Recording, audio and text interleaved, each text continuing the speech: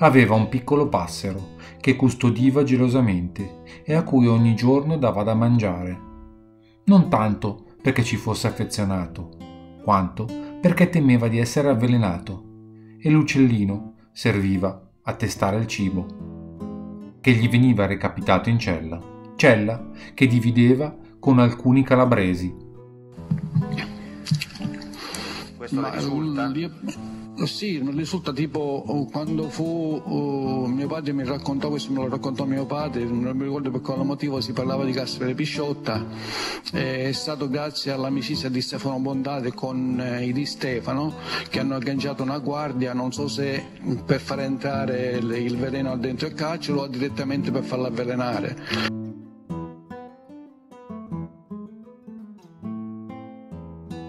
Negli ultimi giorni, avrebbe detto, uno di questi giorni mi uccideranno.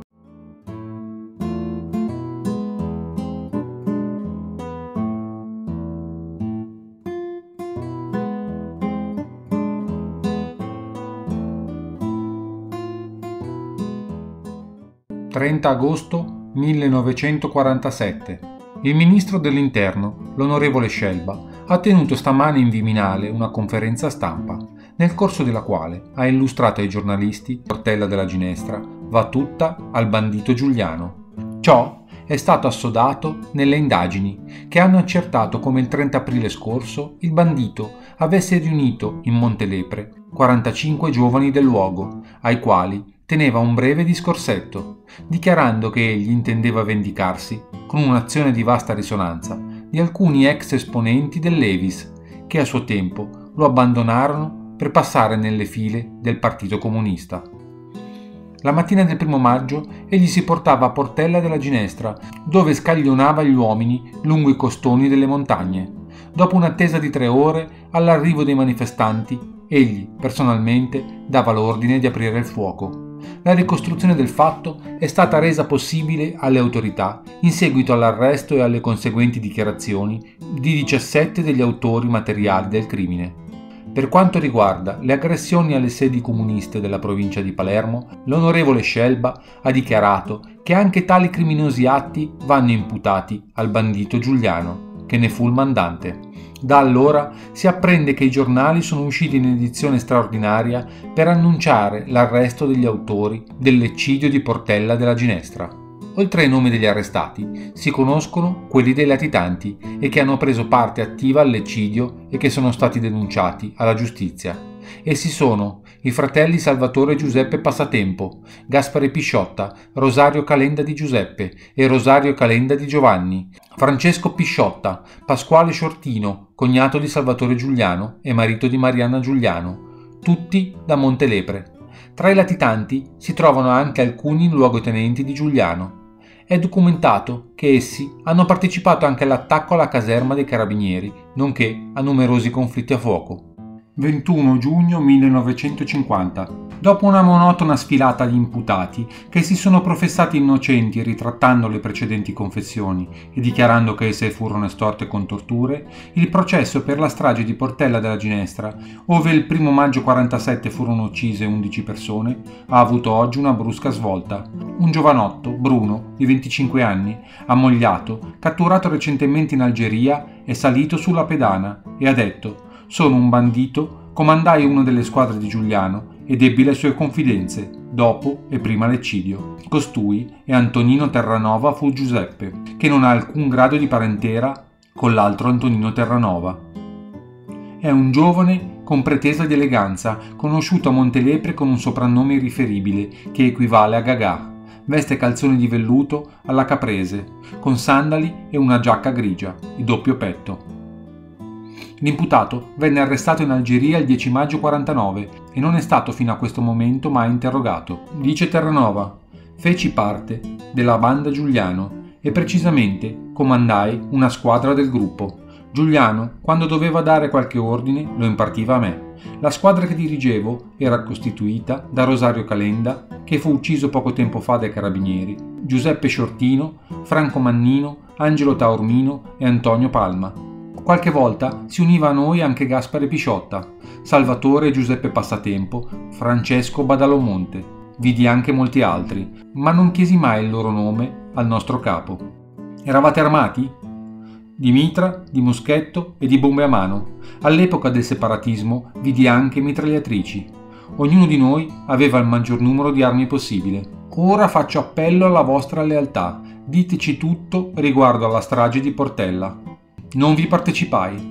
Il primo maggio ero stato inviato da Giuliano a Balletto per una missione che non fu portata a termine. Partii da Montelepre il 28 aprile e non avendo concluso quello che dovevo fare, verso le due del mattino mi ricai nella contrada Pernice. Qui mi fermai a chiedere acqua a Salvatore Randazzo e qui venni avvertito che Giuliano mi dava appuntamento per l'alba a Monte Giacalone. Con me erano i componenti della mia squadra. Vi era inoltre uno sconosciuto che mi era stato affidato dal capo. Si trattava di uno che non era di Montelepre e di cui ignoro il nome. Da chi era stato informato il randazzo dell'appuntamento che Giuliano vi dava? Egli mi disse che la sera del 30 aprile era passato da lui una camionetta con a bordo tre persone. Costoro avevano detto che Turiddu ci aspettava. Non obbedii all'ordine perché sospettavo di che cosa si trattava. Dieci giorni prima Giuliano mi aveva palesato l'intenzione di organizzare un'azione dimostrativa contro i comunisti, accennando alla località di Portella della Ginestra, ove è situato il Monte Giacalone, vicino a Portella. Che altro vi disse Giuliano nell'esporvi il piano dell'impresa? Mi spiegò che il suo scopo era quello di sequestrare alcuni capi comunisti. Cercai di dissuaderlo dal progetto, in quanto l'azione mi sembrava troppo rischiosa. Questa è la ragione per cui non mi sentii di raggiungerlo. Come vi giustificaste con Giuliano della vostra assenza a Portella? Dissi di aver ricevuto troppo tardi l'ordine e di non aver fatto a tempo a raggiungere la contrada da lui indicatami. Cosa vi narrò in quell'occasione il bandito? Disse che mi aveva fatto cercare ovunque, a Pernice e a Balletto, perché gli era indispensabile l'aiuto della mia squadra per accerchiare la massa dei comizianti. In nessuna delle due località era riuscito a pescarmi. Mi spiegò che non era stata sua colpa l'uccisione delle undici persone. Suo proposito era quello di impaurire la folla con colpi in aria dato che senza il mio intervento era divenuta inattuabile l'azione di accerchiamento. Aggiunse di non rendersi conto della morte di 11 persone di cui parlavano i giornali, che noi leggevamo sempre. In ogni modo, disse Turiddu, ma addosserò anche questa responsabilità. Sono un bandito, ma so affrontare la vita. Già, la vita degli altri. Rammento anche che Giuliano disse: Manderò un po' di soldi alle famiglie dei morti non so se poi distribuì questo denaro. Molti hanno raccontato di avervi veduto al rapporto di Giuliano che egli tenne in contrada Cippi, la vigilia della strage. Questa riunione non ci fu, altrimenti Giuliano avrebbe voluto che fosse al suo fianco, anche se io, dieci giorni avanti, avevo espresso parere contrario al piano di Portella. È impossibile che il capo non mi convocasse al momento decisivo. Sapeva che avrei obbedito a tutti i suoi ordini anche se non condividevo le sue idee. Chi ispirò a Giuliano l'azione del primo maggio? Generalmente agiva di sua iniziativa. C'è da dire però che a quel tempo Girolamo Licausi, capo del comunismo in Sicilia, aveva cercato di avvicinare Giuliano per imbastire una specie di alleanza. Turiddu non si fidava, temeva un tranello. Siccome Licausi insisteva nei tentativi di approccio, può darsi che Giuliano si sia deciso a catturarlo durante il comizio di Portella dove era certo di trovarlo. 17 luglio 1950. Un altro personaggio, Gaspare Pisciotta, è da stamane alla ribalta del processo per la strage in Portella della Ginestra. Il penultimo gregario della banda di Salvatore Giuliano non è ancora ufficialmente dato come arrestato, ma sulla sua cattura corrono voci molto accreditate.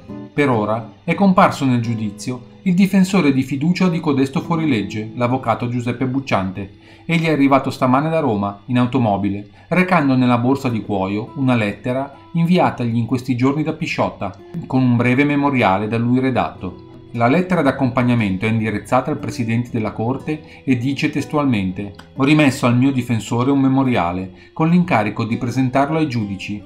Dichiaro fin da ora di non essermi mai macchiato di sangue e se mi trovo costretto alla latitanza non è perché io non rispetti le leggi del mio paese o tema i giudizi, ma perché intendo che sia fatta prima la luce necessaria e una sicura giustizia su tutto quanto mi riguarda. 29 giugno 50, Gaspare Pisciotta di Salvatore. Annesso alla lettera, come già fu fatto da Giuliano, il memoriale. La mia storia, si legge fra l'altro nel memoriale. Cominciai l'8 settembre 43, mi trovavo allora a Bolzano, dove ero stato trasferito da Verona. Ero bersagliere prima dell'ottavo reggimento e poi del settimo. I tedeschi al momento dell'armistizio mi catturarono e mi mandarono in vagone piombato in un campo germanico. Tornai a Montelepre nel maggio del 45. Cominciai a lavorare con un piccolo camion di vecchio tipo, un 501, che avevo voluto comprarmi. Trasportavo latte e passeggeri da Partinico e da Montelepre a Palermo. I miei guai cominciarono a causa della parentela che mi lega alla famiglia Giuliano.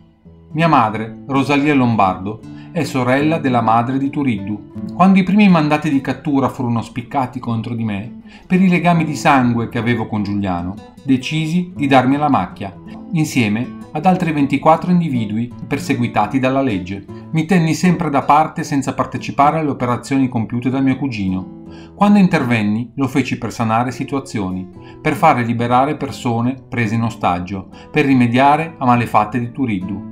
Quando mi feci fotografare insieme a lui durante la famosa intervista concessa da Giuliano a un settimanale milanese, comparvi a fianco di mio cugino perché ero stato attirato da altri della banda. Del resto, da quando tornai dalla Germania, fui sempre gravemente ammalato di tubercolosi polmonare e venni ricoverato per lunghissimi periodi in un ospedale della Sicilia. Sono estraneo al fatto di Portella della Ginestra. Nell'aprile del 47 ero appunto in un ospedale dove mi estrassero due litri di liquido dal polmone sinistro. Proprio la mattina del primo maggio mi furono fatte due radiografie documenti ospedalieri, i medici che mi curarono e le stesse lastre, tuttora esistenti con la data del primo maggio, attestano dinanzi ai giudici la verità di quanto dico.